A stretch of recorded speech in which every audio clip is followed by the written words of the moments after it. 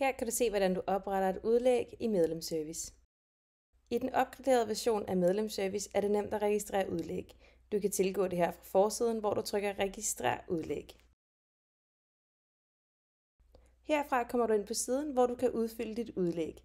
Heroppe i toppen øh, under bilag kan du tilføje kvitteringen, og så kan du udfylde oplysningerne om dit udlæg. Og nede i bunden kan du trykke gem, og altså gemme det som en klade, hvor du stadig kan redigere i oplysningerne. Eller tryk send til godkendelse, og det bliver sendt til din kasser eller gruppeleder, der nu kan godkende dit udlæg, og du kan få pengene tilbage. Hvis du gerne vil finde dine gemte klader, kan du fra forsiden gå ind på medlemssystemet og op under økonomiknappen her.